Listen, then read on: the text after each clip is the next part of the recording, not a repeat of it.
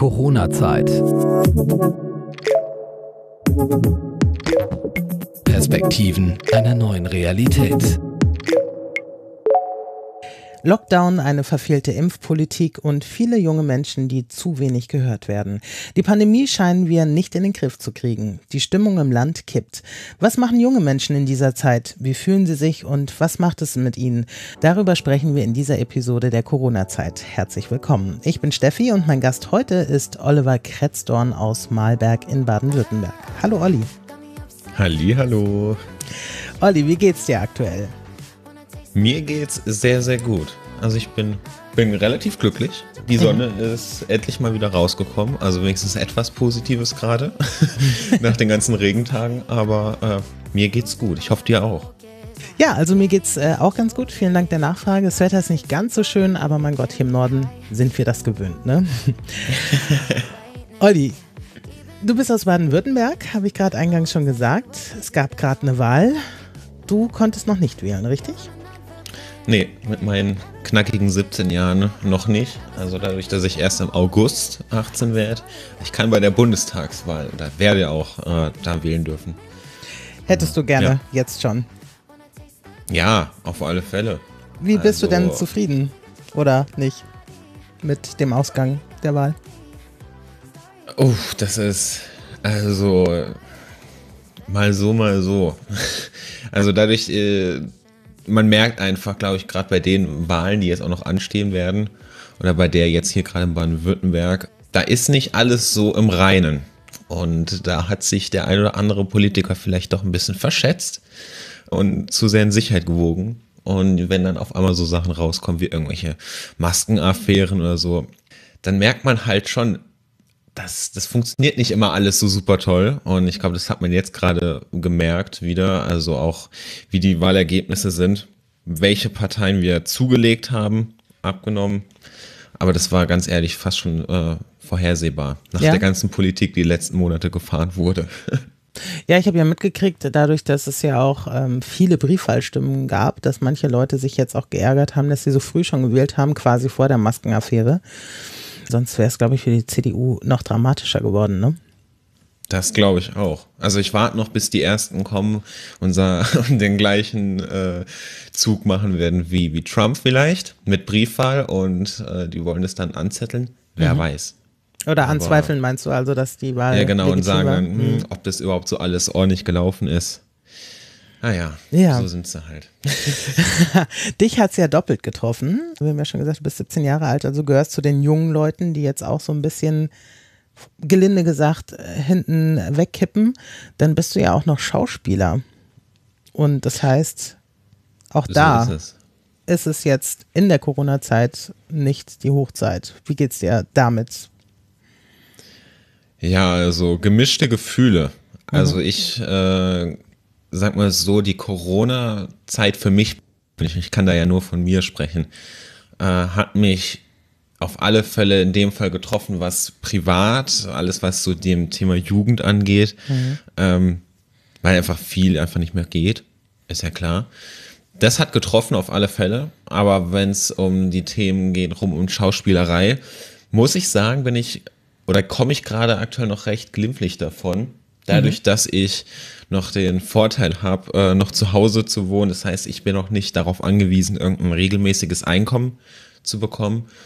Trotzdem ist es aber natürlich so, dass Sachen wie Ausbildung, ohne jetzt direkt zu sagen eine Schauspielschule, sondern auch Workshops, Seminare, sich mit Leuten treffen, Veranstaltungen, funktioniert einfach alles nicht. Alles, was so eigentlich in, ja, ins Thema Ausbildung reingeht, funktioniert einfach nicht. Das heißt, Schauspielschulen nehmen jetzt auch nicht an oder wie, wie kannst du es ein bisschen näher erläutern? Die Schauspielschulen, also da kann ich jetzt nur von anderen Leuten sprechen, wie ich es mitbekommen habe, mhm. weil ich nicht in dem so drin bin, weil ich aktuell nicht auf einer Suche bin von der Schauspielschule. Ich war letztens erst bei einer Stipendiumsprüfung von mhm. der Stage School in Hamburg mhm. und ähm, hab da aber auch komplettes mitbekommen, was Corona da macht. Also sonst werden dort 30 Leute über ein Jahr lang äh, eingeladen und wir waren am Ende nur 19. Ach krass. Das heißt, da gab es Menschen, die, die hätten, wäre Corona nicht gewesen, hätten eine Chance bekommen, ein Stipendium zu bekommen. oder da auf die Prüfung zu gehen. Corona hat aber Nein gesagt. So, und äh, Schauspielschulen nehmen auf, aber sehr, sehr äh, gering. Und vor allem mit äh, Auflagen, wie sie halt jetzt gerade aktuell so sind. Also Aber ist ja dann wieder denn? Land zu Land unterschiedlich. Das heißt, ähm, das mit dem Stipendium musstest du dann auch vor Ort sein oder läuft sowas gerade virtuell? Also macht man, bewirbt man sich um ein Stipendium über Zoom oder wie läuft das? Also äh, ich hatte das Glück, nach Hamburg äh, reisen zu dürfen. Und äh, ich war ja schon mal echt glücklich, dieses Privileg zu haben. Du darfst reisen. Und ich habe auch von der äh, Schule einen Zettel bekommen, in dem drauf stand, ich bin hier geschäftlich unterwegs, schulisch, ausbildungsmäßig. Ähm, dass falls, was weiß ich, irgendein Polizist kommt und sagt, was machen Sie hier, sind Sie touristisch, kann ich sagen, nein. Äh, Also ich war vor Ort dort, weil es einfach anders nicht geht. Also vor allem Musical ist, du musst, hast Gesang, Schauspiel und Tanz. In diesen Fächern wirst du geprüft. Und über Zoom wird ein bisschen schwer. Ja. Aber das hat auch wirklich, also muss man sagen, hat gut geklappt. So und äh, ich habe es einfach gemacht, weil ich gesagt habe, mein Motto dieses Jahr ist eh einfach machen, soweit es geht. Und ähm, dahingehend auch. Also ich hatte vorher auch gar keine Berührungspunkte mit dem Thema Musical. Es kam über einen Workshop im letzten Jahr Oktober. Und da wurde ich dann eingeladen auf die Stipendiumsprüfung. Die habe ich am Ende nicht bekommen. Und jetzt kann ich sagen, oh, ich, ich bin traurig oder so. Aber ich habe jetzt schon gemerkt, das hat ganz, ganz viele Vorteile, um ehrlich zu sein. An Ähm, welcher Stelle? Kannst du da ein Beispiel Weil ich, ja, weil ich da wäre ich ja mindestens drei Jahre, wie die Ausbildung geht, äh, fest in Hamburg gebunden. Mhm. Ich finde Hamburg schön, nichts gegen die Hamburger. Ähm, Ich find's auch schön. Aber, aber ich äh, habe jetzt dadurch, dass ich in den letzten Wochen ganz viel auch, äh, was das Thema Social Media angeht, Mhm. so viele Leute kennengelernt, mit denen ich auch äh, irgendwann mal zusammenarbeiten will oder werde, die aber in Köln sitzen. Und ähm, der Großteil so meiner, meiner Leute, die ich kenne, kommen aus Köln. Und ähm, mich zieht's nach Köln. Ich liebe die Stadt. Und da ist mir auch aufgefallen, hätte ich dieses Stipendium bekommen, ich hätte es auf alle Fälle angenommen. Aber ich wäre auf alle Fälle für drei Jahre dort festgebunden und hätte nichts anderes machen können. Und ja, also ich sehe das Ganze irgendwie dann relativ positiv, weil alles hat irgendwie einen Sinn. Du hast mir im Vorgespräch gesagt, dass du quasi, als ich dich fragte, wie lange bist du denn schon Schauspieler, hast du gesagt, quasi von jeher, also von Kindesbeinen an. Wie, wie bist du dazu gekommen? Und das war schon, also ich bin jemand, der wirklich auch extrovertiert ist. Also das kann ich nicht verheimlichen. Und Ich glaube, das äh, gehört dazu, oder? Auf alle Fälle. Wobei es aber auch, und das glaubt man oft nicht, es gibt auch Schauspieler, die sehr, sehr introvertiert sind, die auf der Bühne oder ähm, vor der Kamera einfach nur so wirken. Aber ich bin wirklich durchgehend extrovertiert, also so, so kennt mich jeder. Und das hat so ein bisschen dazu auch geführt, dass ich schon im Kindergarten auf der Bühne stand, so und habe da beim, was war ich? Ich war mal ein Frosch. Beim Das kleine Ich bin ich. Da geht es so um so eine Raupe, die schaut, ja, wer bin ich denn überhaupt? Also äh, eigentlich schon sehr tiefgehend, wenn man so im Nachhinein drüber denkt. Aber ich war ein Frosch und ich war glücklich. und das war die erste Erinnerung, äh, die ich so an die Schauspielerei habe. Und dann durch die Schulzeit auch. Vor allem Schulzeit war viel dann Schultheater und Moderation. Aber ich habe nie daran gedacht, das irgendwie zu meinem Beruf zu machen. Es macht Spaß, aber war noch viel zu lange so nach dem Motto, ja, du musst was ordentliches machen. Machen, mach einen Brotberuf und äh, Das haben aber auch deine Eltern scheinbar nicht von dir verlangt, oder?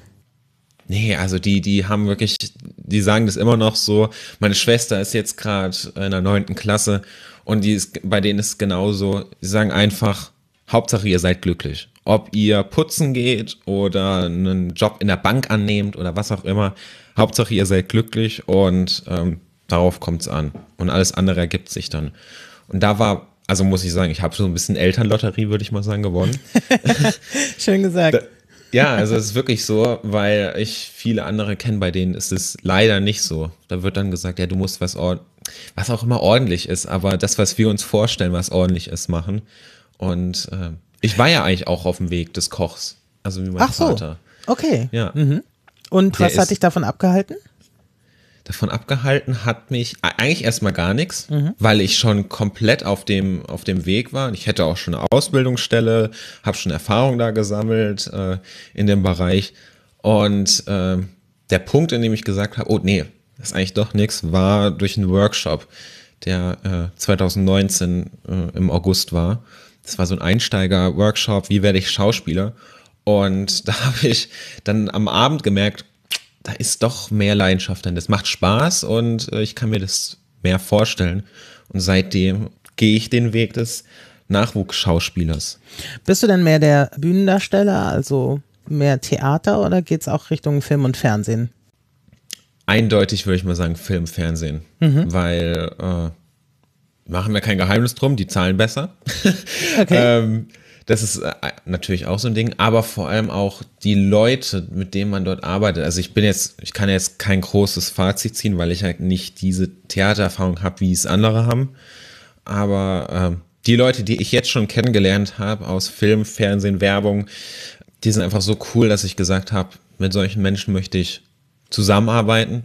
Natürlich, es gibt auch Leute, mit denen will man nicht zusammenarbeiten. aber äh, das gibt's überall, glaube ich.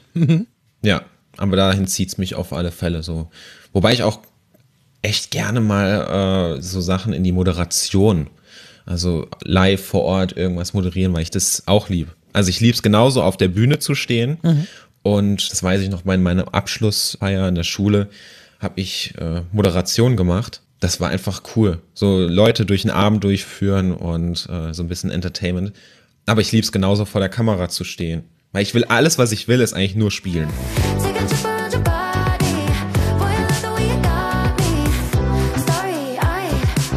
Du hast auch das mir im Vorfeld gesagt, dass du versuchst, auch Schauspieler dabei zu unterstützen, besser jetzt durch die Pandemie zu kommen. Wie machst du das? Das mache ich hauptsächlich online, also viel über Social Media Arbeit, die ich da äh, betreibe.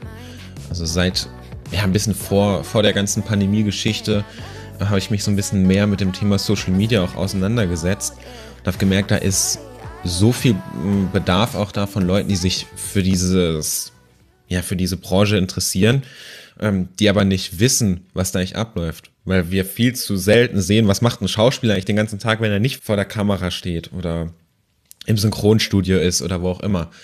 Da es für mich schon immer so ein Ding ist, dass ich andere Menschen irgendwie ja, inspirieren will, war das so ein Ding, wo ich gesagt habe, okay, dann mache ich das mal mit Leuten, die sich für die Schauspielerei interessieren und habe dann sozusagen mein erstes Suminar Anfang diesen Jahres, äh, irgendwann im Januar war das, ähm, gemacht, in dem ich mich mit, ich glaube, 37 Menschen oder so, die ich zusammenge gefunden habe, irgendwie über oh, schon viel, ne? Instagram. Ja, mhm. auf alle Fälle. Also ich war auch geflasht von der Rückmeldung. Mhm. Und wir haben uns dann wirklich getroffen auf Zoom und ich habe da mal so von dem erzählt, wie ich vorgegangen bin, Fragen beantwortet. Und was ich lieb, ist einfach mit anderen Leuten mich zu, zu verbinden, connecten. Und das ist so so ein super Weg. Also andere Leute inspirieren, mhm. was beibringen, die miteinander vernetzen. Man weiß ja nie, wer sitzt da gerade eigentlich in dem Zoom drin und was machen die in fünf Jahren. Und äh, ja, das habe ich gemacht. Also ohne ein Cent nur da? zu verlangen. Mhm. Was? Was erzählst du denen dann da so? Du willst sie ja unterstützen. Genau, also da geht es wirklich von den Basics, ähm, Datenbanken, welche Datenbanken gibt es überhaupt, was muss ich beachten, als Schauspieler, damit mich die Caster überhaupt sehen. Mhm. Ähm, dann ging es auch viel darum, ums, ums Thema E-Casting. Wie nehmen wir sowas auf? Weil das immer noch gerade jetzt ein großes Thema ist, wo viele auch ja sehr verunsichert sind. Was muss man da überhaupt machen? Äh, dann, wie kommt man überhaupt so an, an Jobs? Mhm. Oder wo findet man diese Leute überhaupt, die einem diese Jobs, diese mysteriösen ergeben, diese Caster? Und äh, habe da so ein bisschen, ja, mal ein bisschen erzählt, was man da so machen kann, was man nicht machen sollte. Und Social Media war dann äh, zuletzt, habe ich mal ein, äh, ein Seminar dazu gemacht zum Thema Social Media als Schauspieler, weil ich auch von Produzenten, Regisseuren und Castern jetzt schon zurück äh, eine Rückmeldung bekommen habe, hey, das ist schon wichtig und hey, das sind auch nur Menschen, die mhm. schauen auch mal, gehen auch mal auf Instagram oder so. Und ähm, ja, also so ein bisschen diese Positionierung, wo fange ich überhaupt an? Was gibt es überhaupt für Möglichkeiten? Äh, wo mache ich meine Fotos? Was für Fotos sind wichtig? Und äh, vermittel da so ein bisschen. Aber wenn wir zum Beispiel zum Thema Instagram kommen, was kannst du da machen? Also um was geht's da? Geht es darum, dass du wirklich äh, dreimal am Tag da postest und ähm, was weiß ich, Selfies machst oder was, was machst du bei Instagram? also wie, wie kann man sich da quasi sichtbar machen für potenzielle Caster beispielsweise? Also auf alle Fälle nicht dreimal am Tag irgendeinen Selfie in den Feed posten. Ich meine, es gibt auch so Leute, die machen sowas. Mhm. Bin ich jetzt nicht so äh, überzeugt davon. Nee, also was, äh, worum es mir mal geht, ist einfach Spaß haben bei der Sache, die man macht und mhm. nicht aus dem äh, Ding heraus, ich muss es jetzt machen.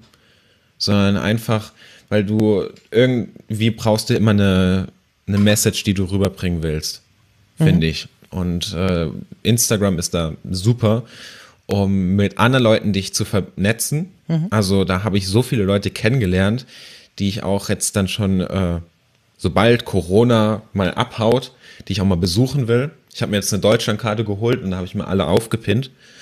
Und äh, einfach diese Sichtbarkeit so, dass es Spaß macht und gleichzeitig aber auch noch die Professionalität verbindet. Also was postet man überhaupt und ähm, was kann man überhaupt machen? So, ich sehe es einfach, dass wir Instagram als Social Media auch mehr Social nutzen, nicht nur immer so dieses Zugeballere, weil das fehlt immer mehr. So, wir, wir ballern einfach nur irgendwelche Bilder raus, zeigen, was wir gerade essen, ähm, aber keiner erzählt mehr, was er jetzt gerade überhaupt macht. Und wir Schauspieler haben halt immer noch so dieses, ja, diesen Anhängsel, ja, ihr steht doch die ganze Zeit nur vor der Kamera und lernt ein bisschen Text auswendig. Und da ist es mal wirklich so ein bisschen zu zeigen. Da geht es nicht um die Caster, weil die, die können kommen, die können sich das anschauen. Kommen die dann um, über Instagram oder kommen die eher über andere Kanäle? Hauptsächlich kommen sie noch über andere Kanäle, mhm. also schreiben dich dann über E-Mail oder so mhm. an. Aber ähm, man sieht es ja dann selber, wenn, äh, wenn man in den Stories schaut oder Beiträgen, dass da der ein oder andere Caster sich das auch mal genauer anschaut. Und äh, da geht es wirklich nur darum, Sichtbarkeit und es ist wie ein About Me-Video, wie ein Vorstellungsvideo, mhm. was eigentlich das Aktuellste ist, so eine Visitenkarte, eine Online-Visitenkarte. Mhm. Und äh, ja, Hauptsache du hast Spaß und dann kannst du sowas machen wie die Reels, die jetzt gerade sehr, sehr ähm, beliebt sind, mhm. weil du damit so viele Sachen auch verbindest. Also vor allem wir Schauspieler, wir müssen lernen, vor der Kamera zu sprechen. Decke ich damit komplett ab, wenn ich meine Sketche dort mache. Oder ähm, ein E-Casting. Ein Ablauf von einem E-Casting ist sehr, sehr, sehr ähnlich zu einem Ablauf, wie wenn ich jetzt ein Reel, so einen kleinen Sketch aufnehme. Mhm. Da bleibst du einfach stetig im Training. Und, äh, wie oft machst du das? Also ich äh, bin jetzt gerade wieder so ein bisschen am Vorproduzieren von den ganzen Sketchen. Ähm, aber das, das, oh, das dauert nicht lange. Das heißt, ich mache einmal, äh, einmal in der Woche nehme ich mir so einen Tag raus und dann drehe ich. Ich glaube, alle drei Tage auf Instagram haue ich da ein Reel raus. Und äh, genau, das ist das, was ich, was ich mache. Aber ich bin auch gerade aktiv. Jetzt gerade, was mich so schauspieltechnisch ja abgeht, ist ja nicht viel. Das, das heißt, wäre auch meine nächste Frage gewesen. Mhm. Ja, das ist äh, gerade ist ja jetzt wirklich alles noch ein bisschen tot. Also ich merke aber so die Werbung, vor allem die Werbung geht jetzt langsam wieder mhm. mehr äh, los mit Produktion. Ähm, aber du hast schon klassisch eine Agentur auch im Rücken, ne? Ja, also ich habe äh, das Glück, eine Agentur zu haben, mhm. relativ schnell bekommen zu haben. Und äh, aber da mache ich, äh, das, die habe ich und ähm, war mir aber auch schon von Anfang an klar, die habe ich und trotzdem muss ich mein Zeug noch machen. Und trotzdem also die übernimmt ich, nicht alles für dich? Nee, oh gut, oh, das wäre schön. Nee, das wäre nicht schön, weil ich will ja selber noch, äh, der größte Teil, 80 Prozent liegt immer noch an dir. Die Agentur hast du einfach, die vertritt dich bei Sachen rund ums Thema Vertrag, ähm, schlägt, die haben natürlich auch ihre Kontakte. Mhm. Muss, kann man ja auch sagen. Eben. Also die Aber, helfen äh, einem doch auch eigentlich reinzukommen, ne? Und Genau, also, Castings äh, an Land zu ziehen, solche Sachen. Genau, die haben halt nochmal die spezielleren Kontakte, so die jetzt nicht von den Ausschreibungen, die nicht öffentlich sind, sondern einfach, äh, die einfach nur die haben. Oder interne Sachen, die dann rumgegeben werden, die man gar nicht öffentlich so als Ausschreibung sieht. Da es macht auf alle Fälle Sinn, eine Agentur zu haben, aber der größte Teil liegt immer noch an dir selber, wo wo es heißt, Caster-Mails schreiben, sich da vorzustellen. Und, äh, Also die Selbstvermarktung Training. sozusagen. Ja, Die also liegt schon ist- noch in deiner Hand. Ja, das ist ein sehr, sehr wichtiger Teil.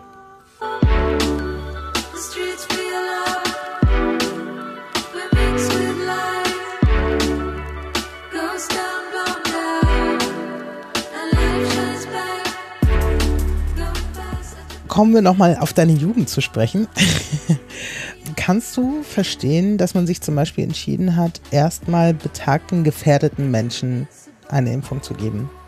Also ich meine, die Impfung ist ja quasi die Exit-Strategie aus der Pandemie, das gesellschaftliche Leben wieder hochzufahren, am Ende des Tages auch wieder normal arbeiten zu können, Kinos zu öffnen, Theater, tangiert dich direkt und indirekt sowohl als auch als Konsument als auch als quasi Player in äh, gerade in der Unterhaltungsbranche, sage ich mal. Kannst du das verstehen oder hättest du die Impfstrategie vielleicht anders gemacht? Ja, ich bin, das, das ist das Ding. Ich bin ja kein, äh, kein Virologe oder Nein, kein Impfarzt.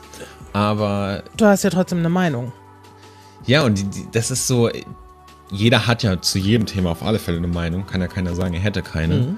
Ähm, es macht schon Sinn, würde ich sagen. Also ich, äh, ich verstehe das schon, dass man sagt, erstmal die, die Leute, jetzt nicht vom Alter, nicht vom Alter abhängig machen, äh, nur weil Tante Ingrid 80 ist, wird die vorgelassen, sondern mal die Leute, die gefährdet sind aufgrund von irgendwelchen Vorerkrankungen. Aber so ist es ja im Moment. Also tatsächlich geht es ja um Tante Ingrid.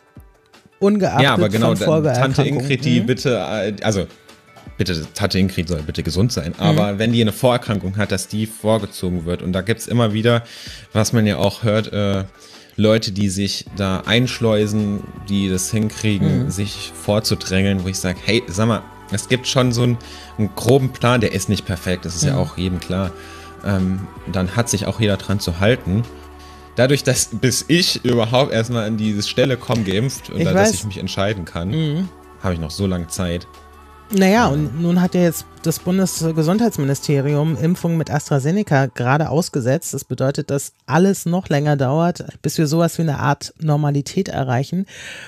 Du bist wahrscheinlich ohnehin einer der letzten in der Impfreihenfolge und ich sag mal, das verschiebt sich dadurch jetzt gegebenenfalls noch mehr. Und als die Pandemie losging, warst du 16. Da ist ja jetzt schon ein Stück, äh, ja gut, ne? Ist ja jetzt Ja. genau ein Jahr, wenn du jetzt 17 bist, dann mutmaßlich, dass, dass du Corona letztes hat Jahr jetzt auch 16 vor ein warst. paar Ja. Tagen, glaube ich, ein Einjähriges gefeiert. ja, ja, genau, richtig. Also Oh, zumindest der Lockdown, ne? Corona ist ja schon seit Januar in China unterwegs gewesen und kam schleichend hierher. Ich weiß Mhm. gar nicht, wann der erste deutsche, ich glaube, das war auch Ende Januar, oder? Ich weiß Das gar nicht, also dieser. Webasto-Mitarbeiter, genau, in Starnberg. Genau. Ähm, ja, und der erste Lockdown war halt vor einem Monat. Und mein Gott, du bist so ein junger Mensch. ich frage mich halt, wie fühlt man sich in so einer Situation, wo man warten muss, aushalten muss, wo man gebeten wird, zurückzustecken, einfach für das große Ganze. Ja, also es ist, äh, ich unterhalte mich natürlich auch mit meinen Freunden ne, äh, darüber und jeder hat da so seine eigene Meinung und das ja auch super ist. Ähm, ich persönlich sag einfach, wir fühlen uns, also da sind wir eigentlich alle äh, uns einig, ein bisschen so vergessen. So, oh, das ist wie, man guckt auf die Straße und sagt, ah, da sind ja noch die, die junge Generation, die haben wir komplett vergessen in, mitzunehmen. Ähm, aber dieses Warten an sich war auf alle Fälle lange Zeit so okay, weil wir gedacht haben, okay, das, wir alle haben doch gedacht, nach, äh, als das Ganze angefangen hat, vor einem Jahr, ja, es geht jetzt vier, fünf Wochen, dann ist wieder fertig. Genau. Im Und Sommer dachten wir alle, noch- wir sind durch. Genau, und wir haben gedacht, oh, jetzt, ähm, ja, das schaffen wir. Und ähm, das ist, ist ja schon bald vorbei. Und jetzt kristallisiert sich so ein bisschen raus, das wird uns ja noch ein bisschen begleiten. Ja, ich, ich schaue dann so in die Zukunft und denke mir, ja, wo ist denn hier das Ende? Und wenn ich kein Ende sehe, dann weiß ich ja nicht, auf was warte ich jetzt gerade. Und dann verstehe ich auch den Unmut, vor allem von meiner Generation, wenn es heißt, ja, ihr habt ja nicht mal einen Plan für uns. Was ist mit, mit uns Jungen, die ihre Ausbildung machen, die und ich krieg's, hab gestern erst mit jemandem äh, auf Zoom mich getroffen und der hat auch gemeint, der hat jetzt, äh, nächstes Jahr schreibt er sein Abi. Der hat jetzt komplett alles über Online Homeschooling die letzten drei Monate gehabt und schreibt jetzt die nächsten Tage dann die zwei wichtigsten äh, Klausuren Ja, scheiße. ohne große Vorbereitung. Und er versteht es immer noch nicht. Ähm, wir sehen es wieder Digitalisierung, aber oh Gott, da kann, egal Thema. ob Schüler oder nicht Schüler, da regt sich, glaube ich, jeder auf. ja, es ist wirklich so dieses, ja, die Jugendlichen, ja, ja, die, die, die schaffen das schon. Die sind doch in ihrem Internet drin, da sind die schon abgelenkt genug. Und das ist so ein Ding. Ach, Ja, aber gut, so was du denk, jetzt äh, von deinem Freund da erzählst, der ist in der Schule. Was heißt Ablenkung? Also er soll sich ja nicht ablenken, er soll was lernen. Aber scheinbar ist es ja auch nicht möglich. Also wenn alle Schüler durchkämen durch Fernunterricht etc. oder durch Selbstlernen, dann bräuchten wir die Schulen ja auch nicht mehr. Also es hat ja irgendwie alles seine Berechtigung und es ist keine Kompensation, ne? Auf alle Fälle. Und vor allem, was ich jetzt erst letztens gesehen habe, so, das war mir nie so bewusst, aber was für eine Macht die Lehrer auch haben, wenn es darum geht, Probleme bei Kindern zu erkennen, die nichts mit dem Lernen zu tun haben, sondern Sachen sind zu Hause, die vorfallen. Sondern sind Lehrer einfach oft die erste Anlaufstelle, wenn man, äh, wenn es irgendwo hakt. Und das fällt komplett weg. Also auch die, das Thema rund um häusliche Gewalt, die bei Kindern, äh, wie bei anderen natürlich auch, aber jetzt haben wir bei der Jugend, extrem angestiegen ist, weil man einfach keinen kein Zulauf mehr hat, weil alles immer nur zu Hause ist. Und ich kann über Zoom geht es einfach schlecht, dass ich mich mit einem Lehrer darüber äh, austausche. Und das ist wieder so dieses Thema vergessen. So. Und das Internet regelt nicht alles. Und im Internet können sich Sachen wie ähm, Sach äh, rund ums Thema Depression, was unsere Generation gerade extrem betrifft, äh, einfach viel, viel stärker ausbreiten, weil wir immer so in unserem, in unserer Bubble sind. Wir sind zu Hause und wir sehen da irgendwie auch oft keinen Ausweg. Also ich sehe immer mal wieder, dann gucke ich die, also ich habe wirklich den, den Nachrichtenkonsum eingeschränkt, weil mich, weil ich gemerkt habe, das, das stresst eigentlich nur und es, Belastet es dich. bringt jetzt auch nichts. Und ähm, dann hört man wieder von irgendwelchen Impfstrategien oder sonstigen Lösungen. Und dann kommt irgendein Korruptionsskandal wieder raus. Und dann ist dieses Vertrauen wieder sehr schnell, schnell weg. Von wegen, ähm, ja, wir schaffen das schon. Wie viel Vertrauen hast du denn in die Politik? Äh, also sagen wir mal so in die Kommunalpolitik mehr als in die große ganze äh, Bundespolitik. Also das, was, was man noch so regeln kann äh, auf kommunaler Ebene, finde ich, läuft relativ gut, also bei uns. Ähm, Was für ein Landkreis ist das? Äh, Ortenau-Kreis, Mhm. ja, Breisgau und Breisgau-Hochschwarzwald, die arbeiten ja alle äh, sehr eng zusammen. Also Ortenau ist ja so Mittelschwarzwald, ne? Von der Höhe her Genau. ungefähr. Mhm. Ja. Offenburg und und da so. funktioniert es äh, relativ gut, was Mhm. ich jetzt so mitbekomme. Ähm, aber das, das große Ganze, alles, was dann zusammenspielt, ist einfach äh, so ein bisschen Chaos. Also da, da, diese, da hast du keinen Durchblick mehr, finde ich.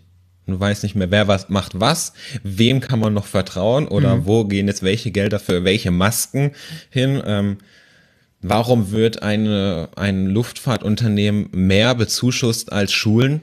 Ähm, Berechtigte Lufthansa war es, glaube ich, mit 9 Mhm. Milliarden, Richtig. die da äh, Geld bekommen haben. TUI hat auch Geld und die, gekriegt. Die, Mhm. Genau, die alle kriegen sie Geld und die Schule, so, da ist nix. Hat immer Da- noch kein da- stabiles Internet. Genau. Mhm. Also ich bin ja wirklich froh, dass jetzt hier alle Aufnahmen und alle Meetings, die ich so habe, dass die halbwegs gut laufen. Ähm, aber sobald ich es auch, mer- ich krieg's von meiner Schwester mit. Mhm. Wie alt die ist die? Mhm. jetzt, Äh, die ist 15 und äh, in der neunten Klasse Realschule und die, die steckt es gut weg. Also habe ich das Gefühl. Mhm. Aber da sind so viele Probleme, die dann aufkommen. Und äh, zuletzt erst kommt sie zu mir und sagt, hey, Olli, äh, kannst du mir da helfen? Da, wir haben jetzt das Thema Parabeln. Und ich habe meinen Abschluss mit einer 4 in Mathe gemacht. War mein Ziel, habe ich erreicht, bin glücklich. Und genau dieses Thema war eins, und es war wirklich so, ich habe das in meiner Prüfung gesehen, Parabeln, und habe das übersprungen. Mhm. Hab's nicht gemacht, weil ich weil ich es nicht verstehe. Und dann bist du da und deine Schwester schaut dich an und, und du sagst ihr, du, Hab ich übersprungen. nicht. Habe ich übersprungen, also weil ich es auch nie verstanden habe. So, weil es schon ohne Homeschooling nicht geklappt hat. Ähm, und aber die ist einfach auch Gott sei Dank relativ gut in der Schule. Aber ich äh, sehe es dann bei anderen von ihren Mitschülern und Mitschülerinnen, die einfach äh, komplett vernachlässigt sind, weil es nicht funktioniert vom Internet. Bei der Schule ist es sehr, sehr gut geregelt, muss ich sagen, äh, was die Leihlaptops oder wie man das nennt, Leihgeräte äh, angeht, dass die Schüler sich da melden konnten. Aber das Internet ist halt dann trotzdem immer noch so ein Ding. Nützt dir auch nichts, ne? Wenn du einen Laptop Ja. hast und kommst nicht ins Netz rein oder Schulserver stürzen ab, ne? Hat man auch immer wieder, dass man sich da nicht einwählen kann und so wegen Überlastung. Wenn du die Möglichkeit hättest, beispielsweise mit Frau Merkel oder Herrn Spahn zu sprechen, was würdest du denen sagen? Oh, oh, gute Frage. Was würde ich denen sagen? Ich würde denen gar nichts sagen. Ich würde sie mal einen Tag mitnehmen in den Online-Unterricht. Oder äh, in, in, einen, einen Tag oder nee, machen wir eine Woche. Ich würde sagen, ich würde sie einladen, gehen Sie mal mit uns äh, eine Woche lang mit und sehen Sie mal, wie es eigentlich so im Durchschnitt alles läuft. Weil ich kann, man kann viel sagen, aber das sind am Ende ja auch diejenigen, die, die einfach nur vorne in der Presse stehen und was sagen. Im Hintergrund ist ja dieser ganze Mechanismus. Und die haben natürlich eine gewisse Macht auch dahingehend, äh, Sachen zu bestimmen. Aber ich glaube, mit ein oder zwei Personen allein bringt es nichts. Da kommen wir wieder aufs Thema Lobbyismus. da muss ich wahrscheinlich woanders anfangen. Ja, aber haben, würdest du sagen, die jungen Leute haben keine Lobby? Auf, die haben gar nichts. Also es gibt, äh, ich wüsste nichts, was, was auf der Ebene äh, eine Lobby wäre. Also in der, in der kleinen Kommune wäre es ja dann die, die, die Schülersprecher und die in Baden-Württemberg ist es auf alle Fälle so, ich weiß nicht, ob das in jedem Bundesland so ist, es gibt die SV. Ähm, das ist ja dann so der Verbund von den Schülern, die zusammen Probleme besprechen. Und das, geht, das geben die dann weiter und die Schule gibt es an die Stadt weiter, die Stadt an den Landkreis. Was mal mehr, mal weniger klappt. Aber sonst, äh, aufs große Ganze, hat die Schule einfach keine Lobby. Und äh, Na, über Schule hinaus, ich meine, du bist ja schon durch mit der Schule, aber Gott du bist ja trotzdem, du bist 17, du bist massiv betroffen. Einfach Da- aufgrund auch der aktuellen Situation. Ein 17-Jähriger möchte eigentlich nicht zu Hause hocken und äh, vom Computer mit seinen Freunden zoomen, sondern er will sie Das sehen, stimmt. er will weggehen, er will äh, mal in die Kneipe oder in einen Club oder so. Also das Ja. betrifft ja nicht nur das Bildungswesen sozusagen, sondern auch wirklich, mein Gott, ein Jugendlicher will ein Jugendlicher sein. So. Und Das Sachen stimmt. machen, die 16-, 17-Jährige machen. Ja, das ist, äh, ist auch so ein Ding. Und ich möchte mich mit Freunden, man kann sich ja dann mit einem Haushalt treffen, aber das bildet ja nicht meinen Freundeskreis ab. Ich will, ich will diesen Haufen komplett alle zusammen haben und wir gehen jetzt, weiß weiß ich, in irgendeine äh, Dorfdiskothek oder so rein. und das ist ja alles, was einfach gerade nicht funktioniert. Die Technik hilft nur kurzweilig aus. Und dass man sich über Zoom trifft oder über so äh, Hausparty, diese, diese App, dann kann man auch darüber spielen. Aber das ersetzt nicht den, den Kontakt, den du hast, wenn, Den du, wenn du dich mit jemandem triffst. Auf alle Fälle. Zum Schluss, letzte Frage. Wenn der ganze Spuk mal vorbei ist, ja, also wir wissen ja nicht, wann das ist, aber was wäre das Erste, was du machen würdest, wenn du frei entscheiden könntest, was du jetzt machst und mit wem du es machst? Mit meiner kompletten Freundesgruppe einmal in den Club gehen und von, von Öffnung bis Schließung drin bleiben und einfach nur tanzen und abgehen. Wir, also wir, wir treffen uns immer also über Zoom dann oder halt über, über äh, wer ist es, Hausparty. Und dann reden wir immer davon, oh, wenn- wenn, irgendwann alles wieder normal ist, was auch immer normal ist, aber wenn alles wieder so läuft, wie wir es kennen, dann, äh, dann geht's direkt in den Club. Ich weiß auch nicht warum, weil das ist einfach so, das ist irgendwie symbolisch für unsere Jugendzeit eigentlich. Da sind viele witzige Sachen entstanden äh, und das wäre so eine Sache. Aber auch Reisen. Also ich habe jetzt, wie ich schon gesagt habe, diese Deutschlandkarte da und habe da mal geschaut, wen kenne ich alles und wo sind die Personen.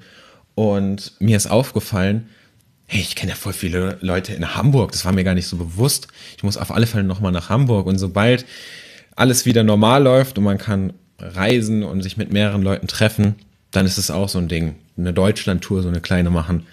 Äh, und die ganzen Leute mal kennenlernen, die man vielleicht nur online kennt. Ich kenne so viele Leute nur vom, vom Sprechen oder über Zoom, deren digitalen Gesichter. Mm, darauf, das ist sowas, was ich sofort machen würde. Da freue ich mich schon drauf. Deswegen bleibe ich so auch so optimistisch. Wunderbar. Lieber Olli, ich sage vielen Dank, dass du dir die Zeit genommen hast, dass du uns Einblicke in dein Leben gegeben hast und ähm, ich wünsche dir alles Gute und natürlich bleib gesund. Vielen, vielen Dank. Hat mich gefreut. Ja, und wenn auch ihr mal bei der Corona-Zeit mitmachen wollt, dann meldet euch unter post.coronazeit.de und dann zeichnen wir eine Folge mit euch auf. Das war Corona-Zeit. Ein Podcast der Euphonica Audioproduktion. Wir produzieren Corporate Podcasts für Ihr Unternehmen. Wenn auch Sie einen Podcast starten möchten, besuchen Sie unsere Website www.euphonica.de. Wir beraten Sie gern.